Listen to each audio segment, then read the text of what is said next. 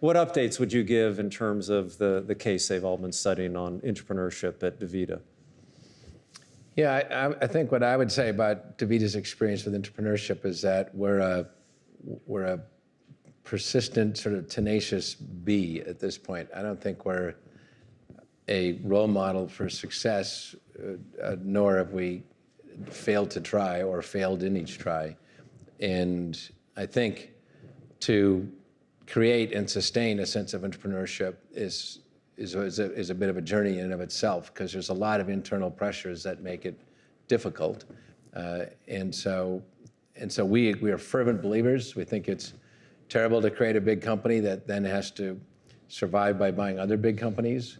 It's terrible to become a big company and be too narrow so that you cannot sustain growth forever. And and so we think it's a absolute strategic imperative to get good at intrapreneurship, and so many companies don't, which is why they go away. Uh, they go away because they can't attract the talent. They go away because they don't develop the new services, or they're overpaying for them because they have to buy them too far downstream. So we believe in it passionately, and we're hoping to improve our grade from a B in the next decade.